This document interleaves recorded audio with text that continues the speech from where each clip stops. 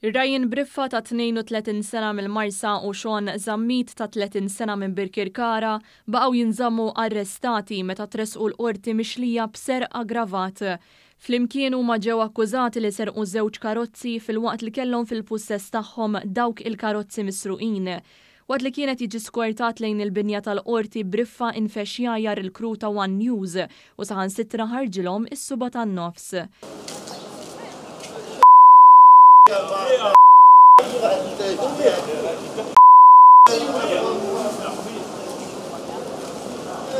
Ryan Briffa waħdu kellu jaffaċċja għaxar akkużi oħra fosthom talli kien fil-pussess ta' karozza flimkien ma' liċenzja tat-triq ta' karozza separata li t-tnejn li huma allegatament kienu misruqa.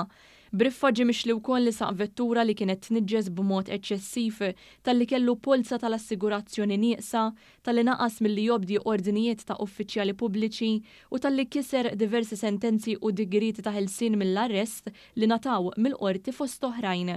Dan filwaqt li l-imputat Zammit waħdu kien akkużat ukoll li kiser kundizzjonijiet ta' ħelsien mill-arrest. Fil-Qorti l-akkużati wieġbu mhux ħatja tal-akkużi miġjuba kontrihom u ma saret l-ebda talba għal ħelsien mill-arrest. Iżda fir-rigward tal-akkużat Zammit, Saret talba lid-Direttur tal-Faċilità Korrettiva ta' Kordin sabiex l-imputat ikun jista' jindirizza l-problema tad-droga.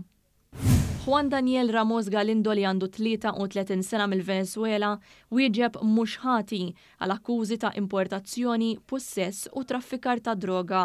Fil-Qorti ġie spjegat li l-akkużat ġie arrestat fil-Mitjar Malti hekk kif instabu fuqu 350 gramma ta' droga suspettata kokaina. Fl-awla l-avukat tal-għajnuna legali m'għamel l-ebda talba għall-ħelsien mill-arrest u għaldaqstant l-imputat baqa' jinżamm arrestat.